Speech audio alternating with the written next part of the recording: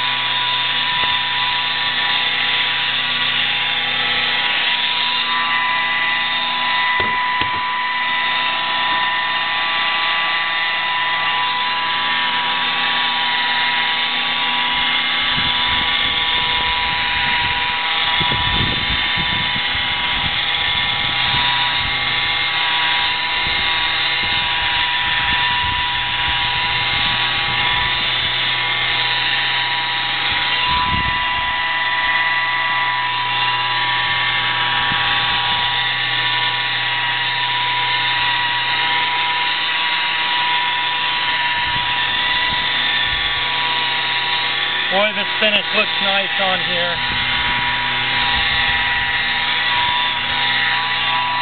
And by the time I'm done with this, I'll probably have a good 50 to 60 hours, if not a little bit more, uh, into the uh, paint here.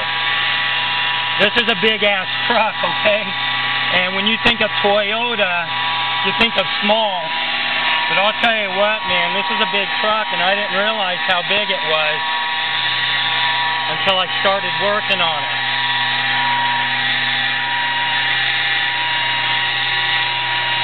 But like I said, I'm applying the uh, sealer right now to this. This is a brand new clear coat on here for these people. And the finish will last for years if they take care of it properly and they get into, you know, correct washing uh, uh, techniques, you know, and things like that. A lot of the uh, swirls uh, come in from uh, bad uh, washing techniques, uh, not to mention bad uh, waxing techniques as well, too. But this is just absolutely beautiful.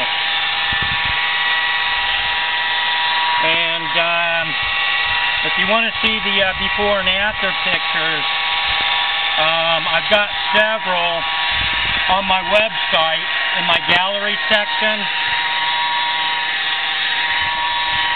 labeled 2002 Toyota TRD. And I got some nice pictures in there too. But when I got this truck here,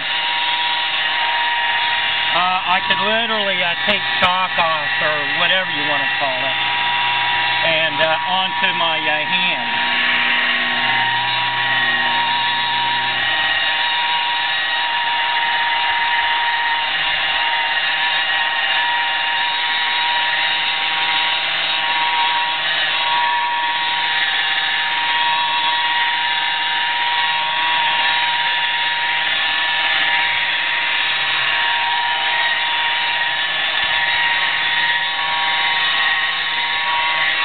Everyone's so into doing dark colored cars and not so much white because dark cars are more dramatic when they come out. But I'll tell you something, man. This looks just as nice, too. When you need sunglasses, a look at this finish in the sunlight, man.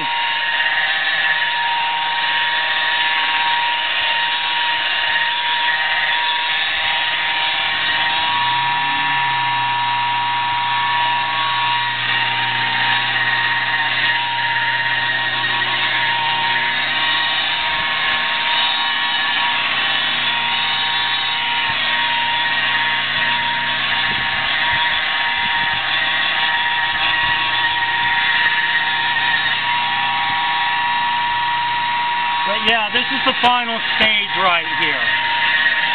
This is our paint protection application.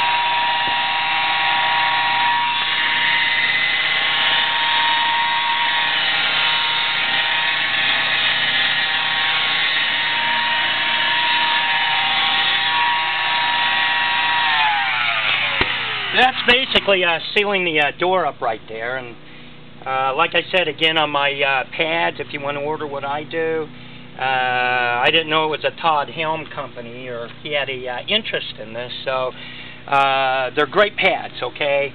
Uh, David uh, Permani, uh, I uh, appreciate your time uh, as well too, uh, helping me to uh, shoot, uh, you know, some better videos, uh, better uh, representation.